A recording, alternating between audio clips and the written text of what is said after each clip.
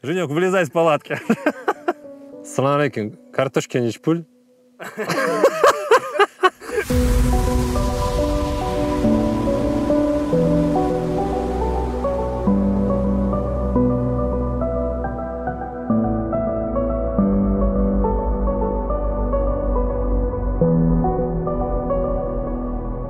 Меня зовут Илья. Так получилось, что я стал travel-блогером, хотя не планировал этого. Пришел я к этому через фотографию. Я очень любил фотографию. Фотографии именно природы, пейзажи. Э, начинал просто с обычного телефона. Выходил там в Ленобласти, фотографировал леса, Финский залив, поехал там в Карелию, озера поснимал. Потом поехал в Финляндию поближе, в Эстонию. А потом я поехал в Узбекистан. Ну, я просто родился там, так получилось. Вот. И я поехал туда делать документы, потому что у меня гражданство Узбекистана было.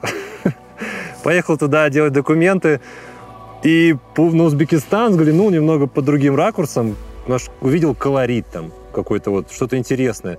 Начал про это снимать, рассказывать людям в Инстаграме, тогда Инстаграм появился. И мне тогда мои бывшие коллеги пишут, это что, это travel-блогером стал? Я такой, ну, наверное, не знаю. Собственно, так и получилось со временем. Я все больше и больше увлекался э, фотографией, там, покупал камеры, одна, другая. Аудитория росла и, и стал travel-блогером. Получается так. Я закончил школу в Узбекистане, э, понял, что дальше куда-то надо двигаться, чтобы развиваться, чего-то достигать. И мой взор пал на Петербург. Ну, я потому что крутился в такой творческой музыкальной тусовке, и там муз... Петербург — это там столица музыки и вообще всего творчества. Я подумал, ну, классно, я знаю русский, надо ехать туда. И, собственно, я переехал в Петербург в 2009 году, э, не закончил там университет, э, занимался всем подряд, но меня всегда привлекало именно связанное что-то с рекламой, первое, и второй с визуалом. Я любил всякие видосики снимать, фотографировать, и как-то, наверное, вот это и совпало. Э, продвижение себя в плане как блогера, такой некий маркетинг, SMM, тот, тот момент тогда не было понятия, что такое SMM, плюс э, съемка. Все это вывело вот в то, что появилось сейчас.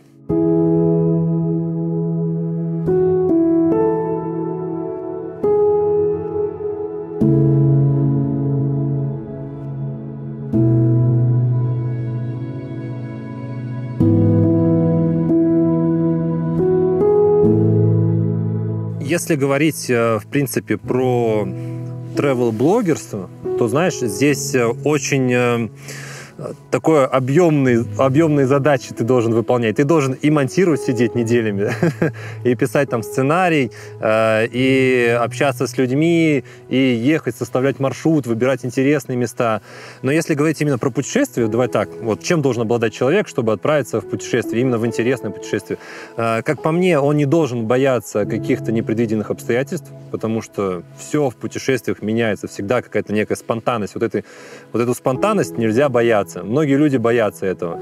А потом он э, должен обладать, наверное, некой любовью к другим людям, потому что ты, когда путешествуешь, ты ездишь в разные страны, встречаешься с разными культурами, которые могут быть даже не близки к тебе, но ты должен как-то входить в положение, понимать, что эта страна — это их культура. И ты должен как-то вот э, с распростертыми, э, не знаю, сердцем внутри к ним обращаться, чтобы, ну, как-то вот внедряться туда и прочувствовать именно свое, свое путешествие. И тем более еще привнести это через фотографии или через видео, показать это другим. Ну, то есть как-то заинтересовать людей тем или иным направлением.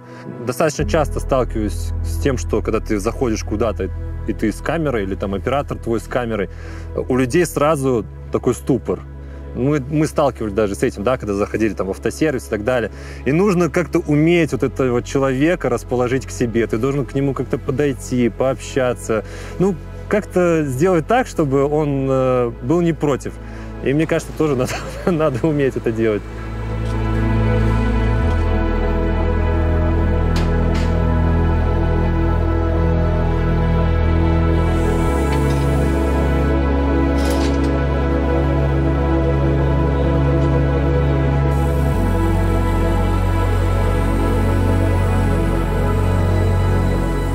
чего точно нельзя делать в путешествиях, так это, наверное, лезть в чужой огород со своим уставом. Например, когда люди приезжают из Москвы в какой-либо там регион, на тот же Кавказ, а, они могут столкнуться с непониманием местных людей.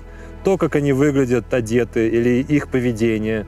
И мне кажется, стоит, э, когда ты находишься в путешествии, прислушиваться к тем или иным людям, которые находятся там, ну, то есть к местным, а не лезть э, вот со своим уставом и, и доказывать, что да я свободный человек, я, я приехал сюда, я что хочу, то и делаю, это я заплатил.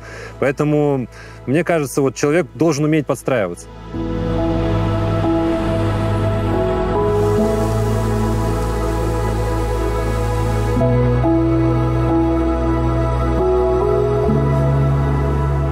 Я не из тех, кто считает страны. Я вообще никогда этого не делал. И я даже не знаю, ну, сколько я их посетил. Ну, примерно, знаешь, так я примерно представляю, там, ну, наверное, около 50 стран, где я бывал. Мне нравится возвращаться в те места, которые мне очень понравились. Поэтому я, например, в ту же самую Норвегию ездил раз семь там, или восемь, потому что ну, мне нравится там. Мне нравится атмосфера, мне нравится природа.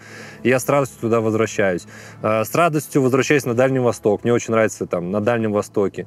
Я много раз был в Пермском крае, потому что ну, мне нравится там. И поэтому вот у меня нет такого, что-то вот взять и там составить список свое эго показать, что я побывал везде, я залез в любую точку мира. Еще момент, наверное, в том, что изначально я как фотограф, э, мне, меня не, не тянет, знаешь, вот постоянно какие-то новые места. А меня больше тянут э, какие-то поймать новые моменты даже в том же самом месте. То есть, когда ты приедешь, например, на рассвете или на закате, или в грозу, то есть одно и то же место, оно может выглядеть по-другому. И поэтому вот из э, такого прошлого, своего фото прошлого, я любил возвращаться в те же самые места, чтобы запечатлеть его там в разное время года. Ну, например, там Лафатенские острова. Э, я там был осенью, вообще офигенно. Был зимой, когда там и северное сияние, и снег, и был летом. И ну, в разное время года эти места, они абсолютно по-разному смотрятся, но при этом они там каждый раз, они ну, кайфовые и вдохновляют меня.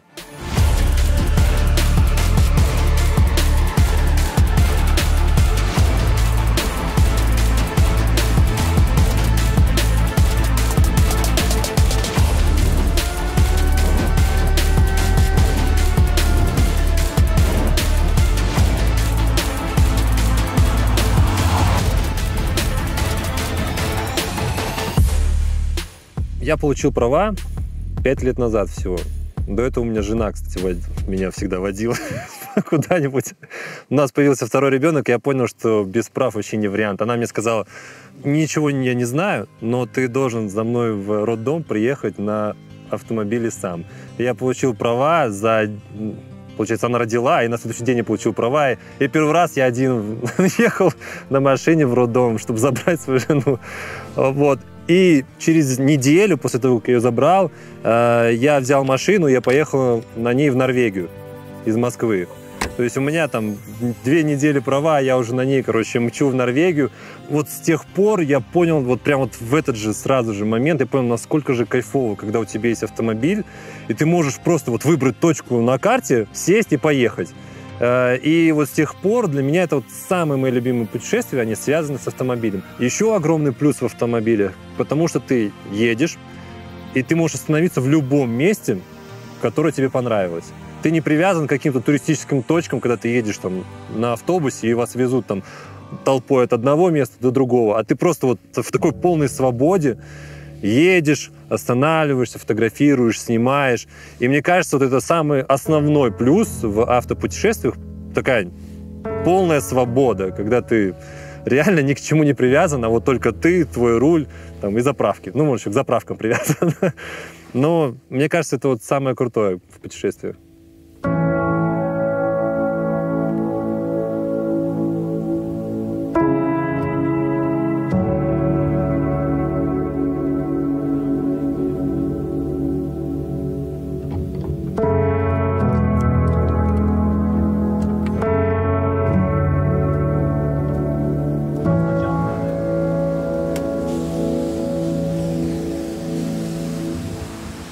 Так получилось, что я начал путешествовать по России еще до пандемии, до закрытия всех границ. И когда это случилось, границы закрылись, э, для меня это не стало каким-то, знаешь, сюрпризом, удивлением в плане э, того, что я останусь без путешествий. я все равно найду, куда поехать, потому что Россия, во-первых, огромная. Э, здесь много разного типа природы. Ты захотел, поехал там на Дальний Восток, где есть океан, там обрывистые скалы, вулканы. Э, я захотел, поехал на Урал, где там самые старые горы, на Кавказ, где молодые горы, высокие, там э, снежные пики. Ну, то есть я э, в любом случае понял, что не смогу остаться без путешествий. И, наверное, тоже можно сказать неким мифом, что никуда нельзя уехать. Мы буквально недавно приехали с Намибии.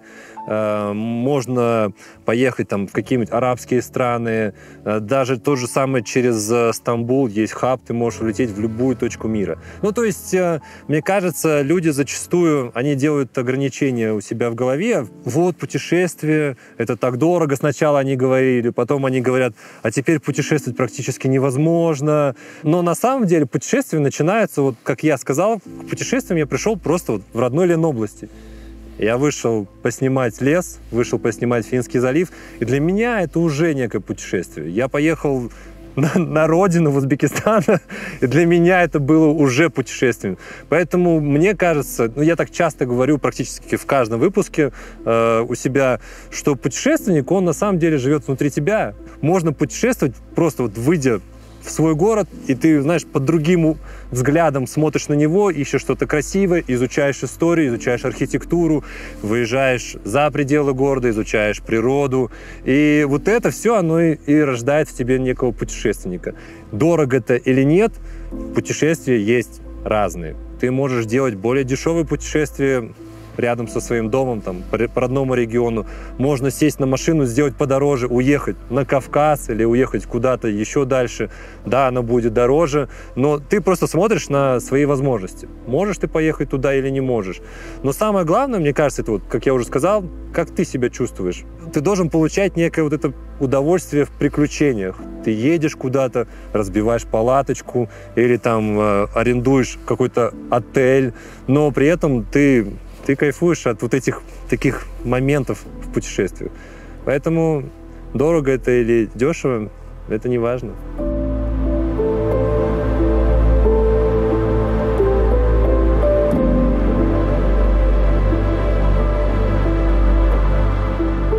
Самое яркое, волнительное, страшное путешествие у меня состоялось в России. Это было в Якутии. И это было зимой. Там было минус 54. И мы жили в палатке. Ну, у нас была буржуйка внутри, которая просто... Ты ложишься спать, она через час тухнет, у тебя в палатке становится просто как, как на улице. И я почему-то, когда туда и доехал, я не думал, что будет настолько волнительно, страшно и впечатляюще. Вокруг лес, лиственницы, палатка, и мы вместе с оленеводами э, живем вместе. Мы жили целую неделю. Э, было очень холодно, прям нереально холодно.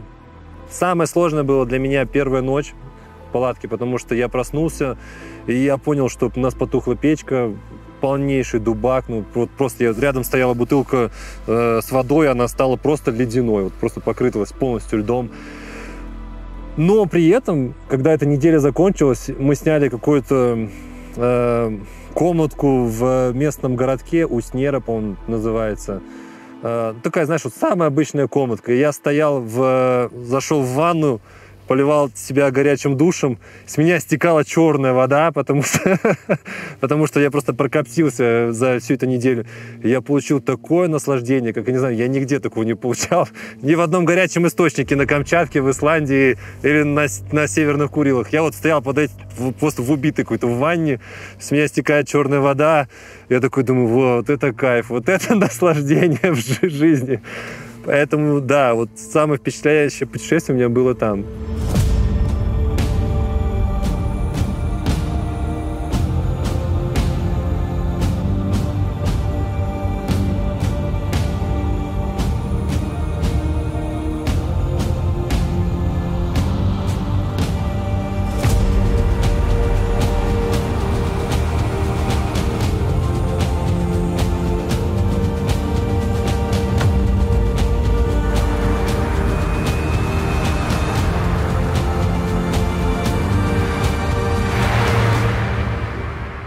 Когда предстояло вот это путешествие на вот этом автомобиле, сначала было такое волнение внутри.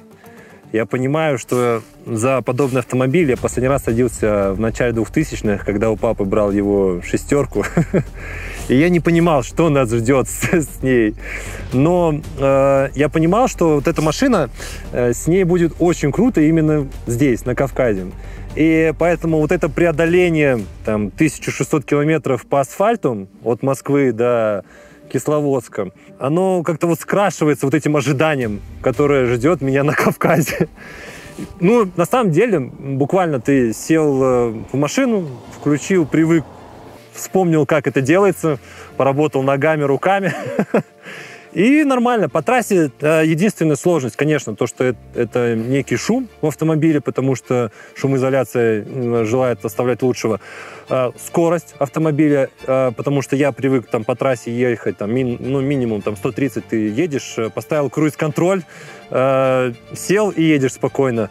Здесь же ты всегда должен быть на чеку, ты всегда держишь руль, никакого адаптивного круиз-контроля, который затормозит тебя перед другой машиной впереди. А, скорость примерно 90 км в час, 80-90, ну 100. Э, это немного удлинило наше путешествие. Но когда мы въехали на грунтовку, когда мы заехали сразу же в горы, ты понимаешь, ради чего ты терпел все эти километры. И ну и кайф же. Смотри, какая она красивая. Стоит сзади. Да, на ладошке вот так вот. вот получается.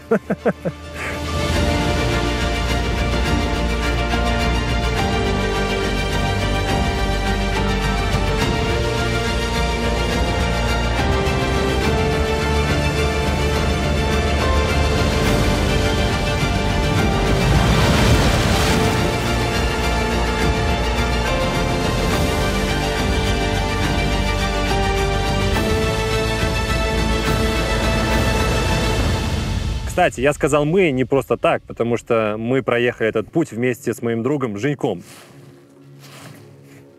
Это мой друг, он же мой оператор. Э, ему уже плотно год вместе работаем. Мы с ним познакомились как раз на съемках на Камчатке. Мы там вместе снимали прикольный выпуск э, про то, как мы катались на сноубордах, э, летали на холески. Ну, в общем, было классно. И, собственно, там мы с Женьком познакомились, и с тех пор мы очень много вместе с ним тоже проехали километров на автомобилях. И когда я ему сказал, что Женек есть возможность поехать на вот этом автомобиле, он сказал, все, я еду без проблем сразу же. Поэтому мы ехали вместе, нам было весело, э, потому что в путешествиях для меня тоже, кстати, важно ездить с кем-то. Мне очень скучно одному, я вообще не одиночка. И поэтому я всегда еду либо с компанией, либо либо с другом каким-нибудь. Мы решили ехать очень быстро. Мы решили проскочить все скучные места. ну, максимально быстро, насколько это можно, 80-90 километров в час. Но мы не останавливались ни на какие ночевки, и 1600 километров просто ехали, меняя друг друга. То ехал Женек, потом он спал, я садился за руль, я ехал, потом опять я спал. И мы проехали буквально там за, наверное, 21 час с учетом там обедов, заправок и так далее. Когда мы доехали до гор, первую нашу точку, которую мы очень хотели посетить, это плато Бермамыт. Но мы даже не ожидали, насколько, насколько в данный сезон там очень плохо с проходимостью. Там просто отсутствие дорог, полное отсутствие. Земля была мокрой, э, вот эта грязь, пошел снег, также были остатки снега, которые еще не растаяли. И все это Нива преодолела. Ну, ну, мы, конечно, не без поломок оттуда уехали. И так даже получилось, что у нас был второй автомобиль, в котором сидели операторы. Пришлось оставить автомобиль, пересесть всем вот в этот. И мы пятером, пятером забрались на, на плато. И это было очень сложно. Честно говоря, когда мы сидели в автомобиле, мы ехали, каждый из нас думал, да не может быть, почему она дальше едет? Да она сейчас встанет. Да нет, да невозможно, давай не поедем, давай остановимся, давай развернемся. Нет, она все едет, едет, едет. Это был какой-то просто шок. Э, кто-то даже за рулем, я не помню, кто из операторов крикнул «Я хочу эту машину!»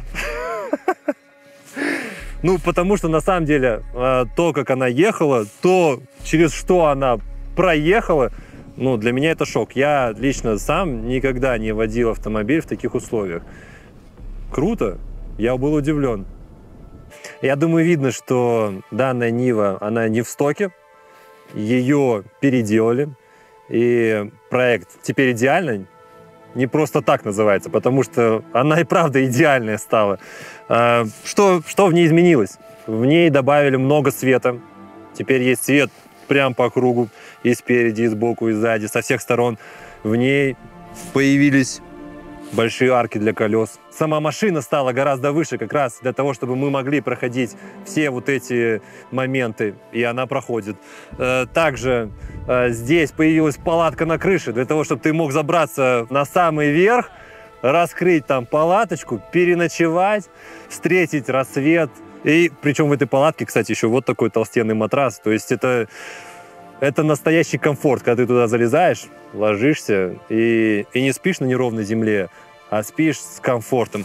Также зубастая резина, задняя блокировка, много всяких дополнительных аксессуаров, которые тебе помогут в путешествии. Хайджек, лопата, топор, приделанный в багажнике. Там есть холодильник в багажнике. Э, и что у нас еще там? Шноркель, чтобы заезжать по самое не хочу.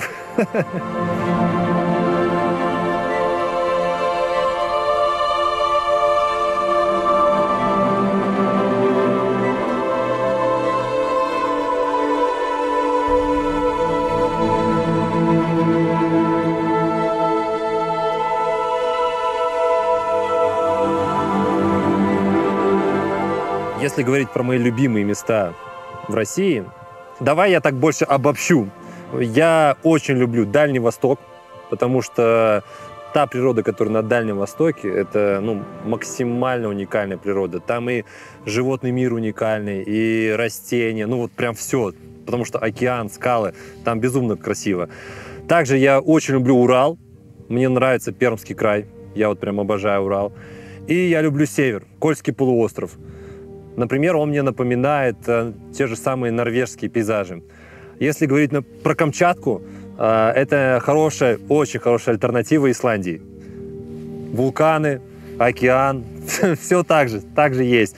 При этом э, на Камчатке считаются самые красивые вулканы в мире, потому что они ровной формы, такой конуснообразный, зачастую у людей э, есть представление о вулканах, что они всегда такие красивые, вот такие ровненькие. Но в той же Исландии они больше похожи на такие холмы э, уральские. А, поэтому на Камчатке это супер эпично.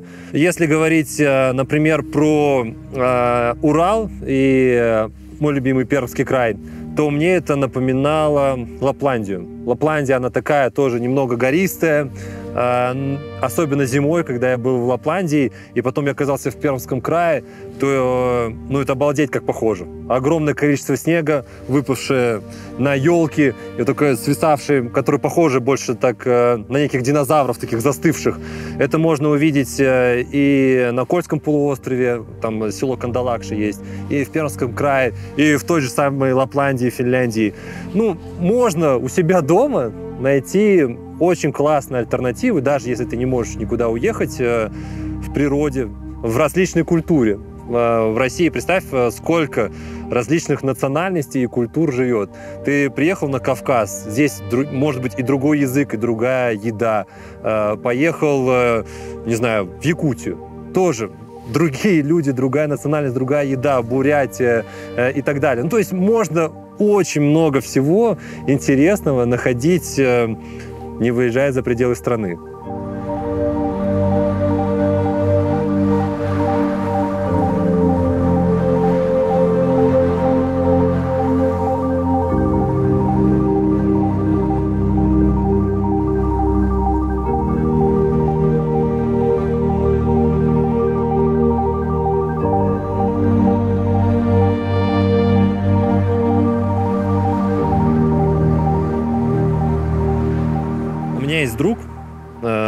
Тоже travel-блогер, И такая у него есть любимая фраза «Больше всего в путешествиях я люблю возвращаться домой». Ну, э, я правда тоже очень люблю в путешествиях возвращаться домой, потому что, ну, у меня есть семья, мне нравится э, иметь то место, где меня ждут, вот этот уют. Э, даже когда мы вместе с семьей куда-то путешествуем, нам очень кайфово возвращаться в то место, где мы можем переждать время до другого путешествия. И, как мне кажется, самое классное это вот такой симбиоз, когда ты можешь э, иметь и свой дом, где ты ожидаешь, вот это, получаешь эту эмоцию э, от ожидания какого-то будущего путешествия. И также в путешествии прям желание классное вернуться домой. И когда вот это все вместе, оно такое вот работает, вот это идеально. Вот теперь идеально.